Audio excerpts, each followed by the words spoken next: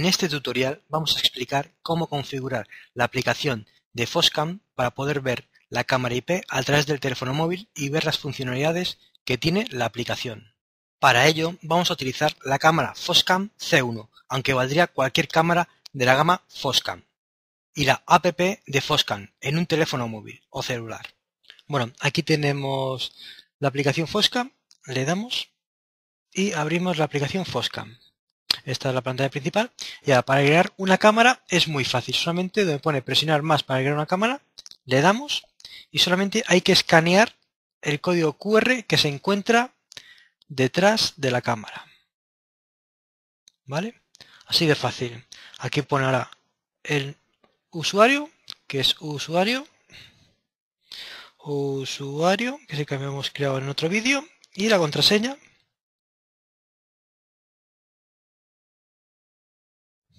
Damos a OK. Están guardando los datos y por lo que vemos se ha, se ha conectado perfectamente. La damos aquí y vemos la cámara. Pasamos la mano para que vean que es en tiempo real. ¿Vale? Y ahora en la parte de aquí abajo, a la, a la izquierda, está habilitar audio. ¿Vale? 1, 2, 3, 1, 2, 3. Nos escuchamos por la cámara y escuchamos también la cámara. Vamos aquí. Esto es para hacer una foto, la camarita, y lo que está justamente al lado es para hacer un vídeo. Grabamos y cuando queremos terminar, pulsamos nuevamente. Esta de aquí es la visión nocturna. Yo lo dejo automáticamente para cuando salga de noche se iluminen los LEDs. Vale. Vamos a quitar el audio para no escucharme yo de retorno. Y esto es para rotar la imagen, si la queremos rotar.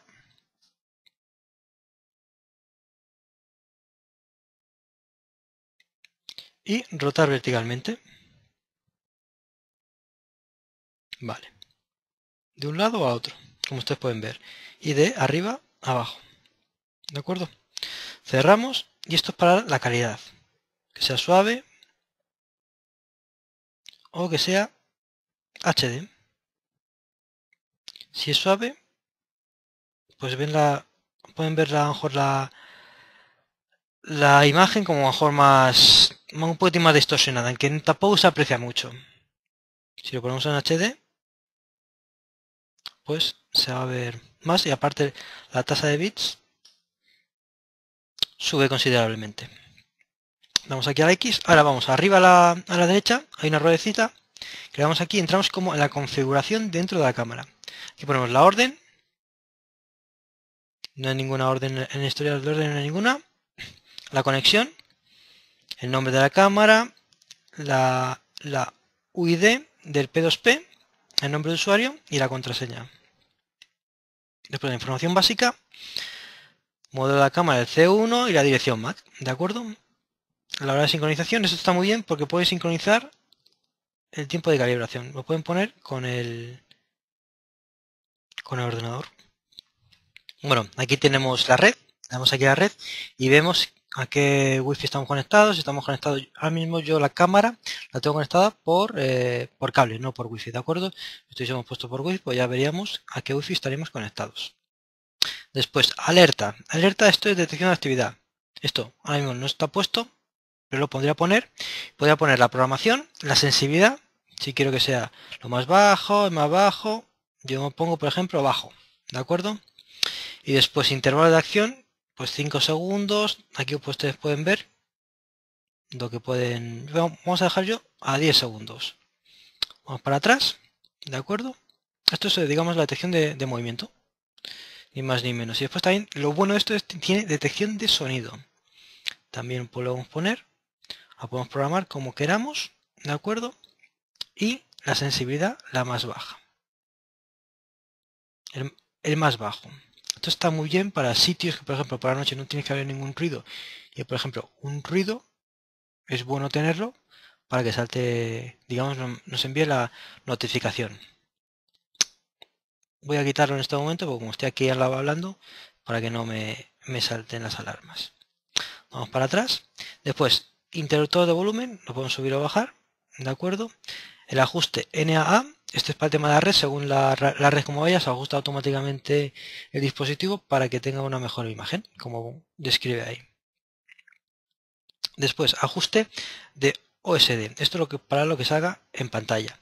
Mostrar hora de, de, mostrar hora de cámara y mostrar nombre de cámara. Esto siempre lo dejo puesto para saber exactamente qué cámara es y a qué hora qué hora es, digamos, en el momento. Porque hay muchos sitios que a lo mejor puede tener una persona una cámara en cada sitio del país y si el país es muy tiene varias franjas horarias para saber exactamente qué horario hay en cada sitio. Después, LED de estado, esto es para, digamos, los LEDs que están en la cámara, para dejarlos encendidos o apagarlos. Esto es como todo, si estás en tu casa, lo dejas encendido. Si estás a lo mejor en una oficina, los quitas para que no, para hay gente que le, le puede molestar.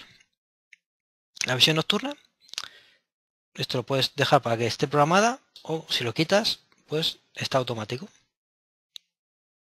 Y después frecuencia de poder, 50 Hz o 60 en este caso 50 Hz, que es lo que hay aquí en Europa. Y después ajuste de seguridad, si quieren cambiar alguna cosa de estas. Y después, también muy importante que de aquí se pueda actualizar el firmware. Se le da aquí y ahora mismo está actualizado porque lo, actualicé antes de, de hacer el tutorial. Y por lo demás no tiene mayor complicación. ¿Vale? Vamos a utilizar para que se ponga el IR Vamos a ver.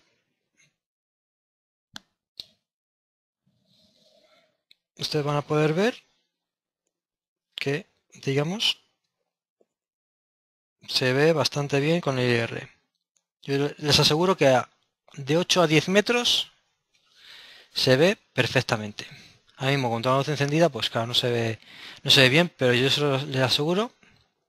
Voy a, voy a apagar la luz para que ustedes lo puedan ver perfectamente. Vamos a ver.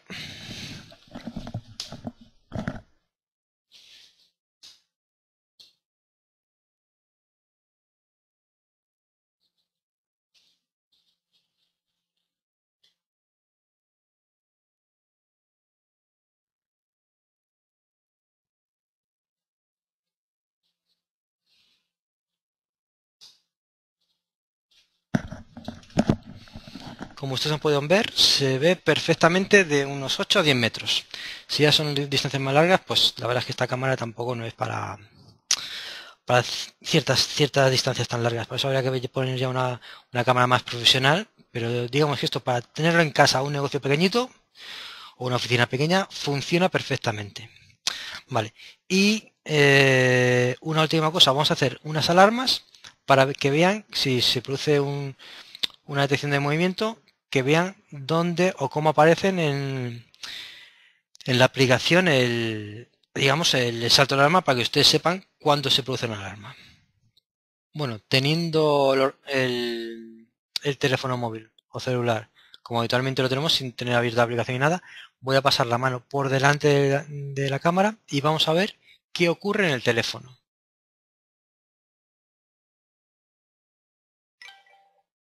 Hemos escuchado que nos han dado un aviso y en la parte de arriba del teléfono nos sale que ha habido una detección, una alarma de detección de movimiento. Le damos aquí y vemos que no tiene nada la cámara. Vamos aquí y nos pone que ha habido a las 20.29 una detección de, de movimiento. Ya nos podemos conectar y vemos si hay movimiento o no hay movimiento, ¿de acuerdo?